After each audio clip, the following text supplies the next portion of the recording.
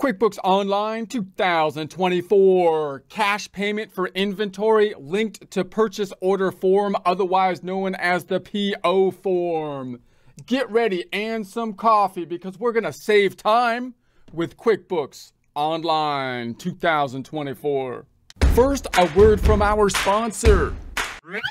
Yeah, actually, we're sponsoring ourselves on this one because apparently the merchandisers, they don't want to be seen with us. But but that's okay, whatever. Because our merchandise is, is better than their stupid stuff anyways. Like our trust me, I'm an accountant product line. Yeah, it's paramount that you let people know that you're an accountant. Because apparently we're among the only ones equipped with the number crunching skills to answer society's current deep, complex, and nuanced questions.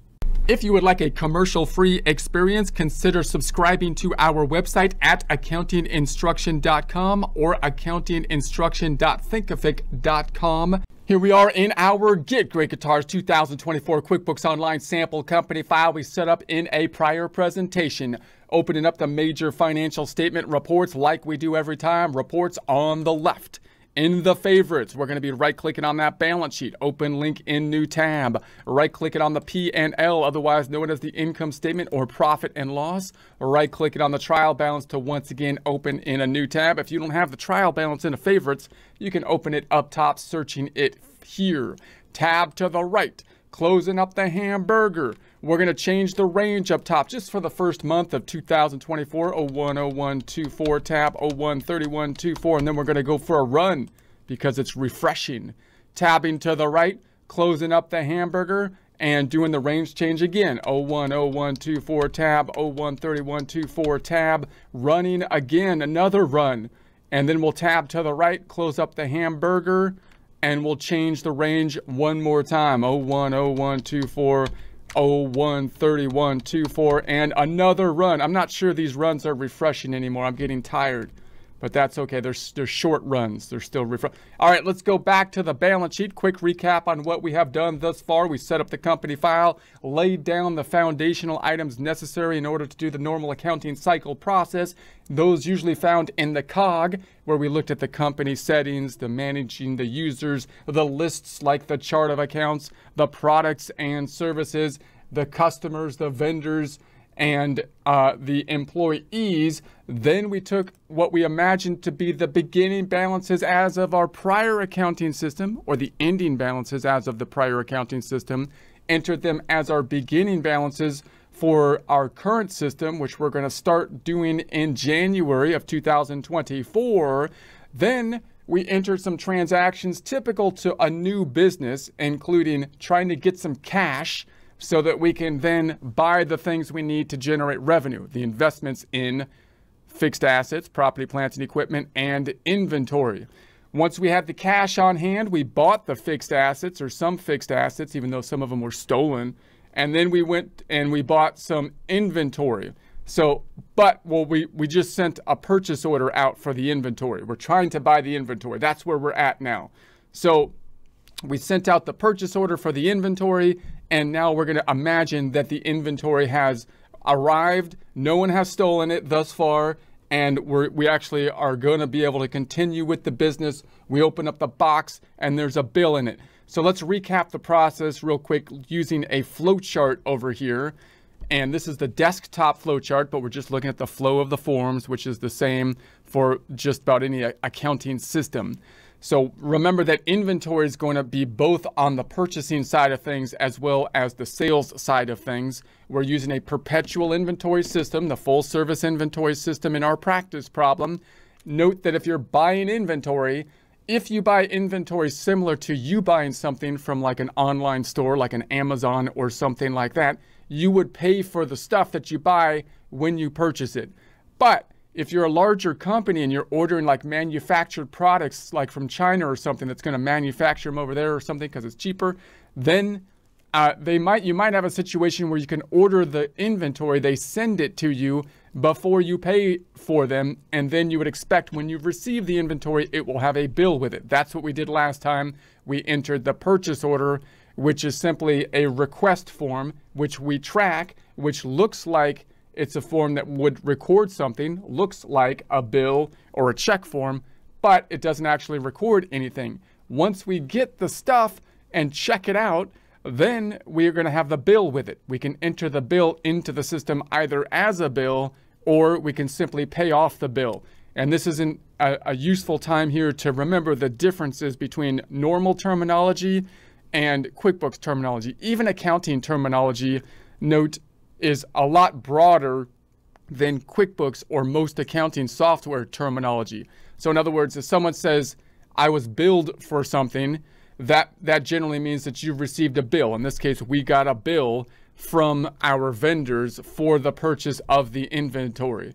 But a bill form for QuickBooks means specifically that we're increasing the accounts payable. So, so if I put it into the system as a bill, we're increasing accounts payable. If I take that bill and just pay it with an electronic transfer, we're paying it with similar to a check form or expense form. So we, even though we can say we got a bill, we didn't enter it as a bill in the system. We entered it as an expense or check form. We simply paid off the bill. So it's not a bill for QuickBooks terminology, right? We can also say that we got invoiced from a client. Those words are interchangeable from a normal, even accounting kind of terminology.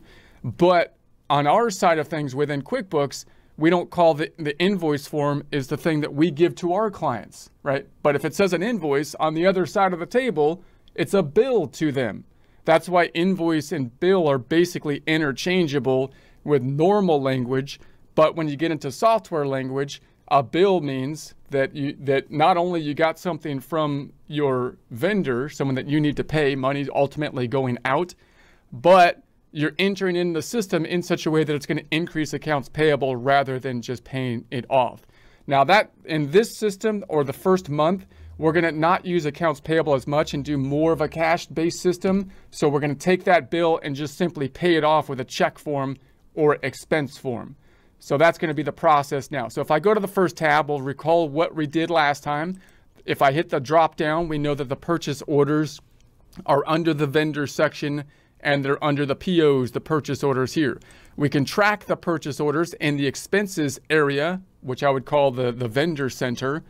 And we can then go into here and we could track them by going to our expenses and we could say, okay, there's our purchase orders. We might be looking for the, the purchase orders, for example, drop down. I just want to see the purchase orders, and maybe I want to see those that are open, open purchase orders. And then when I get the box that has the guitars in them, I can match them out to the particular purchase order that we have sent out.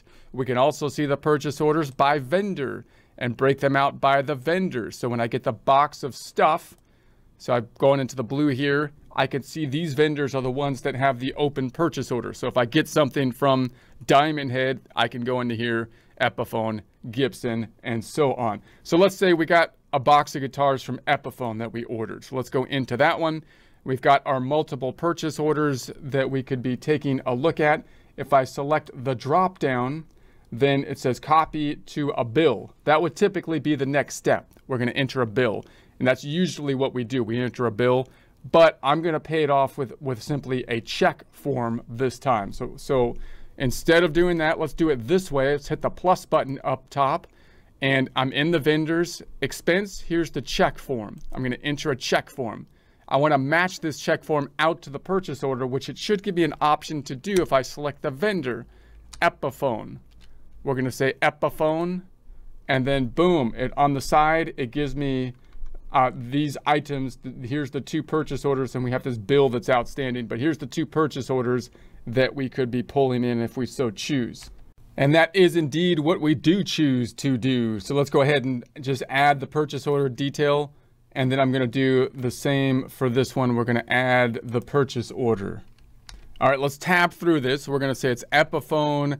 It's going to be coming from the checking account. And let's bring it to the 14th. I'm going to say this happened on January 14th and we'll put the check number in. So let's put a check number in. I'll put starting with the 1004. Now the check numbers are a little bit different. Notice that most forms will have a numbering system, like the invoices will have an automatic numbering system. With the checks, if you're actually physically writing checks within QuickBooks, which a lot of people aren't doing anymore because they're going to electronic kind of transactions, but we just want to point out the checks here in case you still want to be processing checks in some way, shape, or form. How could you do that if you want to? Well, you can purchase the physical checks, which already have check numbers on them. You can't print a check from QuickBooks on just a blank piece of paper. You need the physical checks. The checks will already have check numbers on them, and then you can add that first check number into the system. Then, after you do that, all the check numbers will populate automatically, just one number at a time, and that number should tie into what your physical checks say, which gives you that kind of internal control over the over over your checks. Then you have the print later if you want to be printing them later. Remember that if you have multiple checks, that could be a useful thing to do because you might want to enter multiple checks into the system and then print them all at one time, then putting the checks into your into your printer the proper way and then uh, print all of them at one time. But we're not going to print them later here. All right, so as we go through here, we're not going to have any tags. Notice it's not going to a category. The check form is like an expense form, except now we have a check number related to it. This is the form that decreases the checking account. We're not going to apply them to a category that would be like applying it to the telephone expense or something like that, but instead we're going to use items.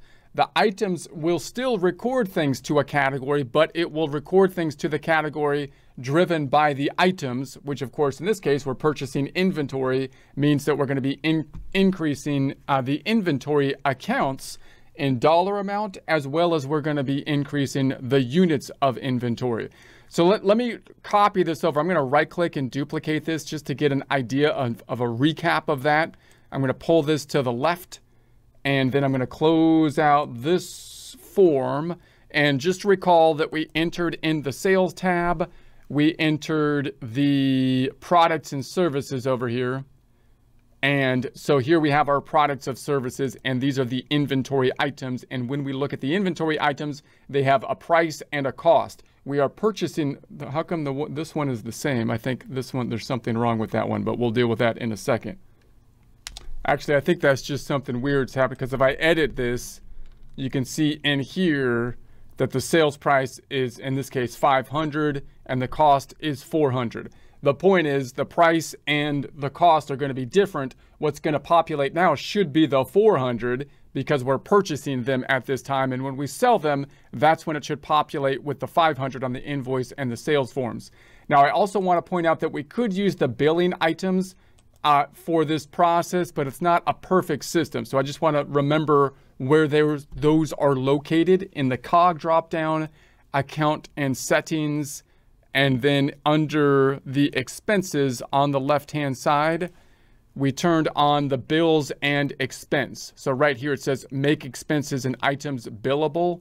So that is on so we can track billable expenses and, and items as income in a single account. So that's what we have done. We've turned that on. Why is that important with a purchase order? If I go back to the purchase order, you'll remember that these two up top we assigned a customer to. Why did we do that? Well, we've got our box of guitars that we received from our vendor, and these two purchases of the guitars we bought specifically for a particular customer, which our vendor didn't care about. Epiphone doesn't care about the, the customers. That's not why we put it there. We put that there so now when I get the guitars, I can remind myself that I need to turn around and sell this with an invoice or sales receipt form to this customer, Eric Music. Now, you might think, well, look at that. I got this billable thing. These two tabs are there because, or these two columns are there because we turned on that preference.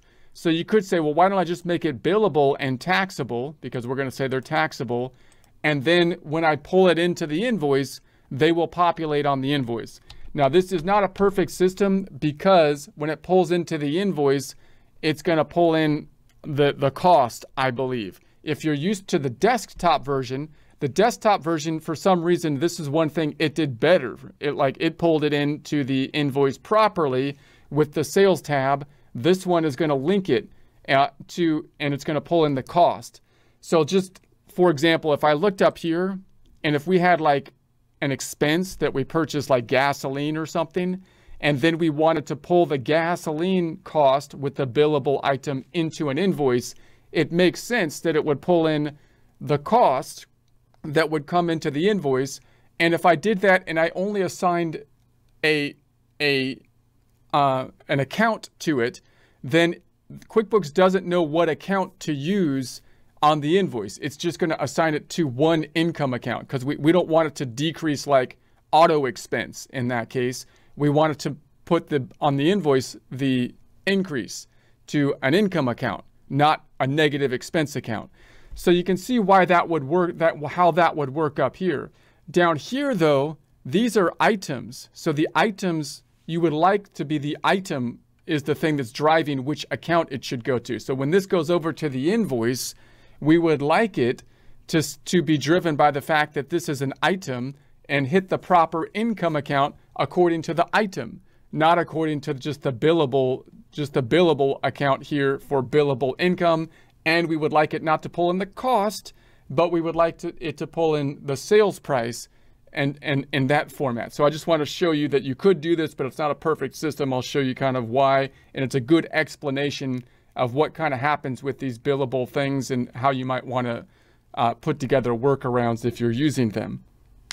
All right, so let's record it. When we record it, what's it going to do? Decrease the checking account because it's a check form, and the other side is going to go to inventory, and, and it's going to go to inventory by the total dollar amount, and it's going to have an impact on the inventory subledger tracking both units and dollars. And so down below, we can cancel it, we can clear it, we can print it, uh, we can uh, uh, order checks, make it reoccurring, or under the more, we could void it. We can save and close, we can save and new. Let's go to save and close on it. And then let's tab to the right and see the journal entry. I'm going to run it again to refresh it. Go to a nice refreshing run. And then we'll go into the checking account and check out the checking. And we can see there's our check. There's the check number. And if I go into it, it's going to take us back to that check form. We go into it, it goes back to the check form. Close now. Now the other side, it didn't tell us where it went, even though it went only to one other account because there's multiple line items. So if I so that's why it kind of dashes that out, even though it's only in one other account over here on the inventory asset. So there it is here. So notice we have multiple check forms in here, but all the check are, it's all the same form. It put them in by line item, possibly in part because QuickBooks is trying to track the inventory on like a first in, first out method, the flow assumption it's using. Let's go back on over. There's nothing in the profit and loss yet.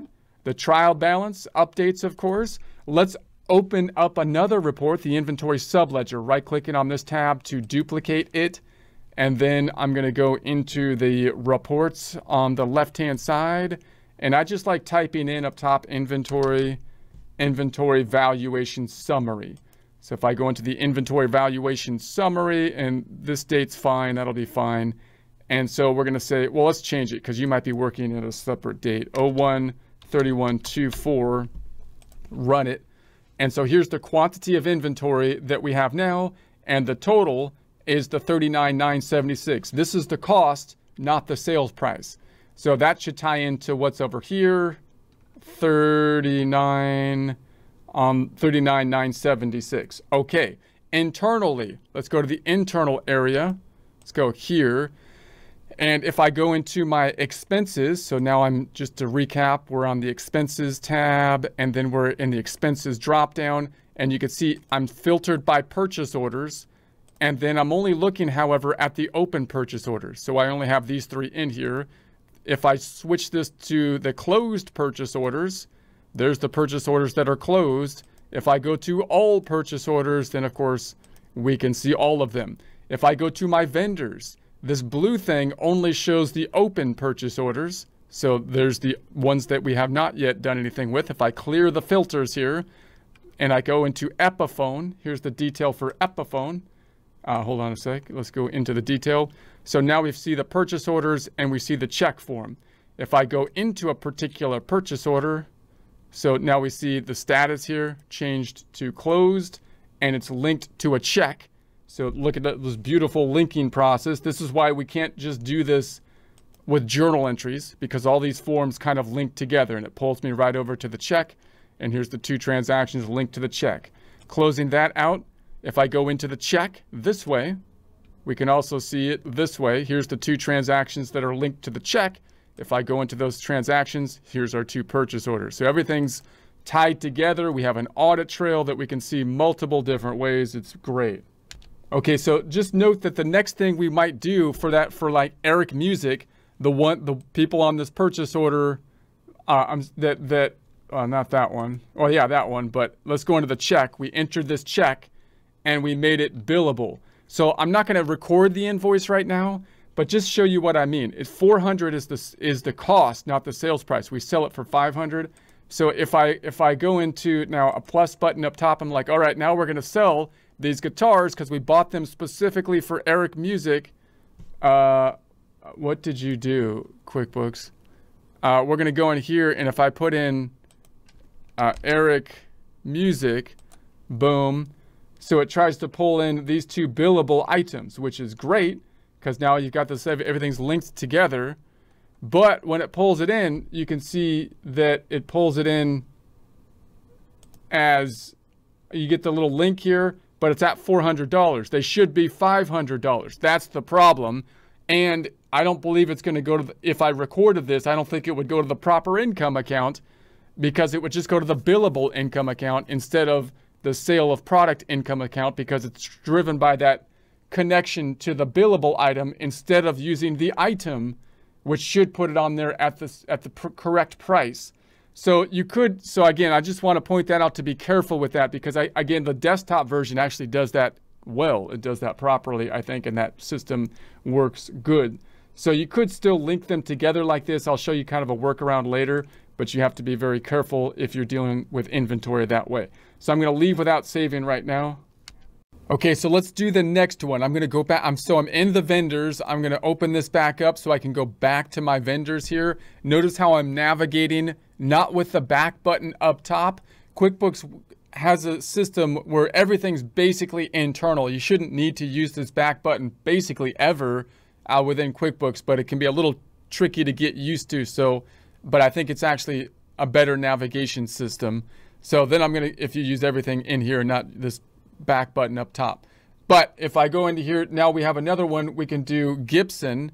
So if I go into uh, Gibson, we had some uh, purchase orders that we have in here. If we were to enter a bill for them, we can hit the drop down and copy to a bill. But I'm just going to do the same thing. We're going to go directly to a check. We're not going to enter a bill. We got a bill from them with the box of guitars that we've received, but we're just going to pay it off. So we're not going to enter a bill into QuickBooks, we're going to enter it and just pay it with either an expense form or a check form. These two forms are the same, except that the check form has a check number on it, but they both decrease the checking account.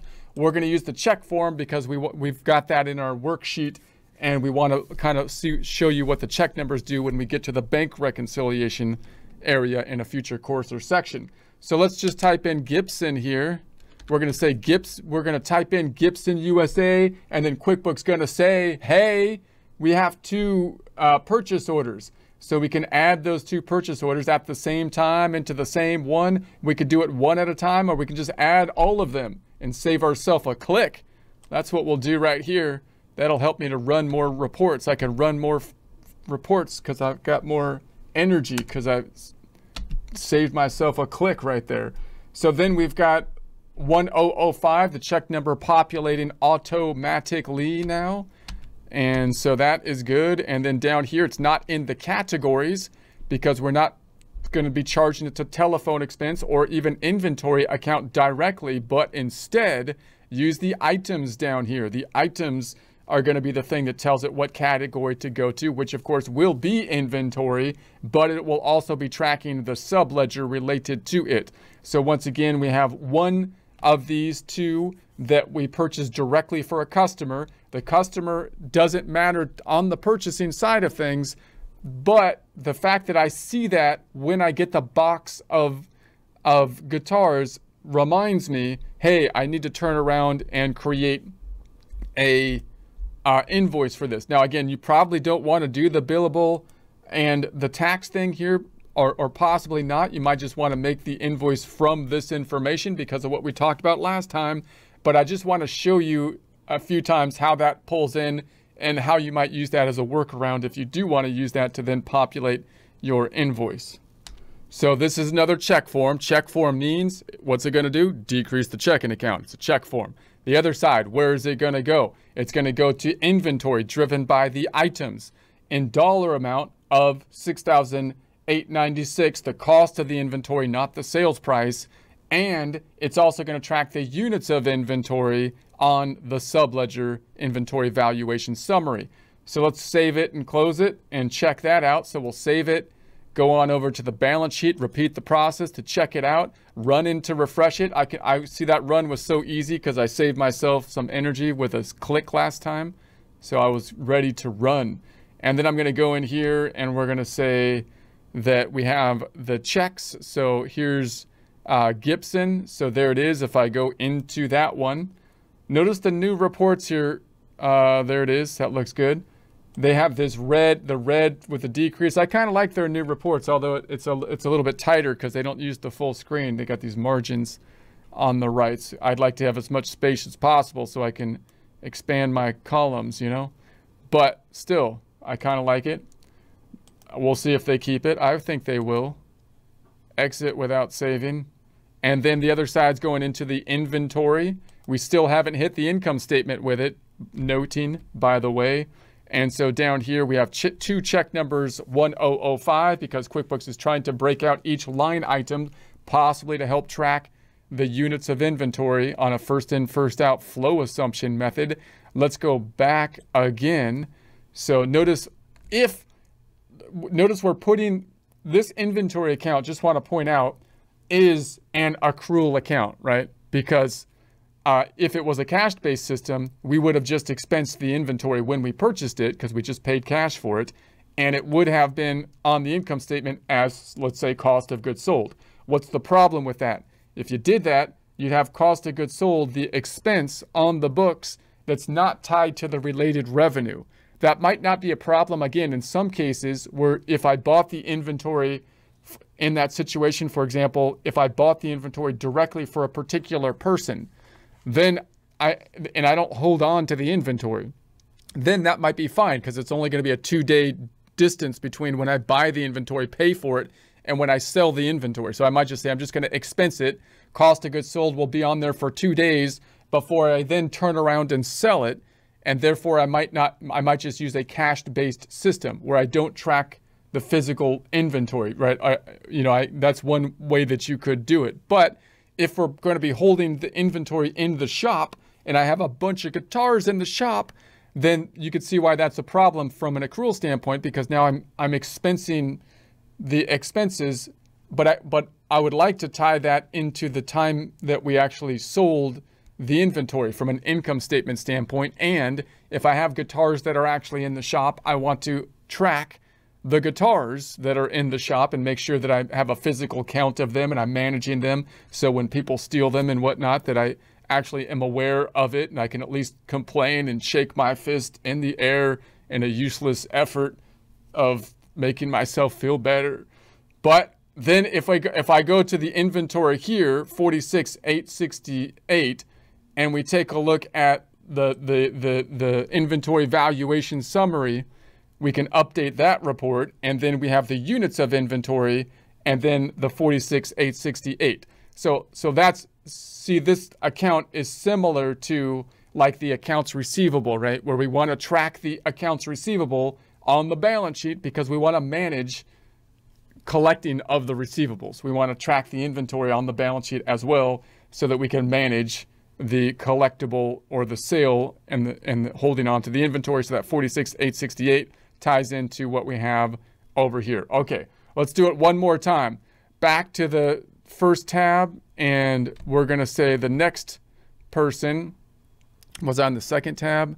So now let's go in the second tab. So once again, I'm going to go back to the vendors, but I'll, well, let me just check out in the expenses over here and note the purchase orders. If I look at the purchase orders, filters, by open purchase orders, now we only have the one left, right?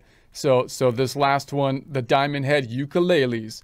And then if I go into the vendors section, so now I'm in the vendors and uh, if I look at my one purchase order left over, we can go into that. There's my last purchase order. Uh, if I go back to the vendors here, or I clear the filters, let's say, just to check the Gibson USA, if Gibson was to contact us now, we can say, okay, we sent out these purchase orders. If I go into the purchase order, I can see that it's closed and I can see the link to the check and go to the check. There's the check. I can actually find the check.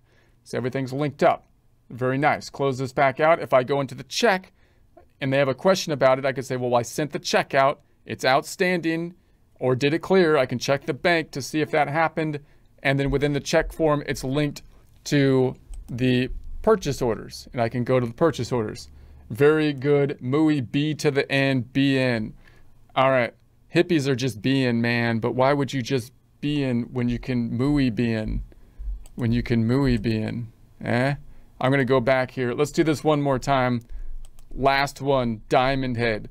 Let's go to the plus button again, and then we're going to go check. And we're to say this is diamond head.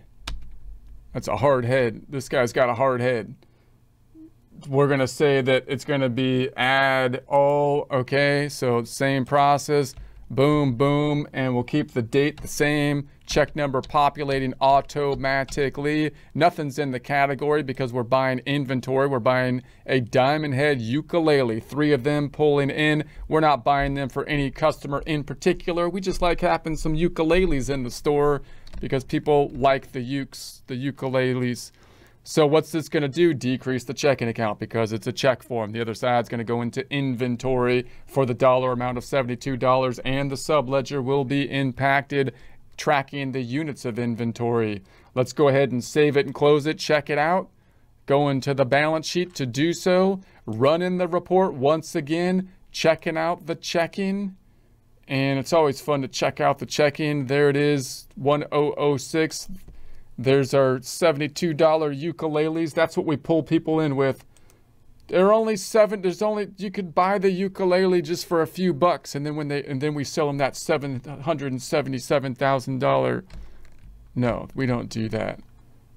That's not nice. I'm gonna go into the inventory, and then we're gonna say this is gonna be there's the this side of it going back.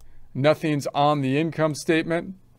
Nothing's on the income statement because we haven't sold the stuff yet. So still nothing's happening over here. We're just financing our business. We're going to make money soon. It takes time. Okay, I'm getting worried. This seems like a lot of outflow of money without any inflow. That's how it works. That's why you make the that's why business owners make the big bucks cuz they take on the risk. Right? That's what the anyways.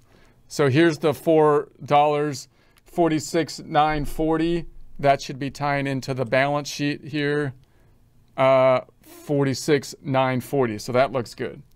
And just a quick check internally, if I go back on over here, we can see that in the expenses area, no more open, uh, open purchase orders. They're all closed now. MUI B to the end B N, And the vendors, we've got no more purchase orders here. If I clear the filter, and we go into Diamond Head. That he's such a hard head. We have we call him a Diamond Head. Such a hard head. Okay, we're gonna go into there. We have a purchase order, and we can see that the purchase order is closed and it's linked to the check. Great, and there it is. So then let's. I think that's it. So this is where we stand now on the balance sheet at this point. This is where we're at. We've now got the inventory. We we got the money we got the loan, we put in our own money, we bought the the fixed assets, the furniture, so we have a beautiful shop that people want to come into, and now we've got all the guitars that are like hanging all over the shop, and that's going to make people want to come buy the guitars, and we're ready to make some sales, but we haven't done it yet because thus far there's nothing on our income statement, which is worrying our partners here uh, because we because it seems like a lot of outflow, but we're not worried because we have a beautiful shop and it's going to happen. People are going to want to buy our stuff. So then we're going to go into the trial balance. This is where we stand. Now, this I think is the best report to compare your numbers to. So, uh, so you can you can check out these here. So the first bit are the assets, liabilities, equity, income, and expenses. So checking account, asset, accounts receivable, asset, inventory, asset, investment, uh, asset, accumulated depreciation, contra asset, because it's intimately linked to part of, in essence, the property, plants, and equipment, furniture, and fixture. The accounts payable, there's our first liability, the Visa payable liability, that's credit card, loan payable liability, and then the equity, the 65,000 in the investment that we put in and the owner's equity representing the income generated over the life of the company that has not yet been distributed in the form of draws in the case of a sole proprietorship or partnership. It would be in the case of dividends if it were a corporation.